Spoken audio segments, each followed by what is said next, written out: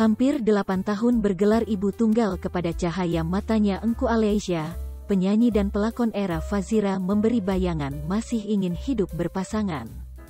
Memetik harian Metro, bagaimanapun selebriti berusia 48 tahun itu menyerahkan soal jodohnya pada ketentuan Allah dan menerima jika sudah ditakdirkan single.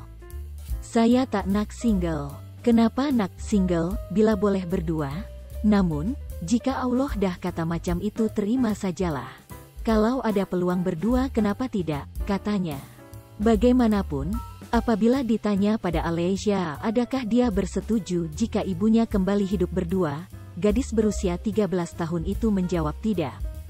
Dalam pada itu, Era turut berkongsikan ada menerima jemputan ke majelis perkawinan rakannya, Sahir Zawawi namun tidak dapat hadir karena mempunyai urusan kerja. Alhamdulillah, dia dah selamat diijab kabulkan dan menjadi suami orang. Semoga berkekalan hingga ke jannah.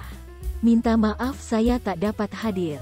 Ada jemputan, tapi saya tak dapat hadir sebab ada urusan kerja, katanya.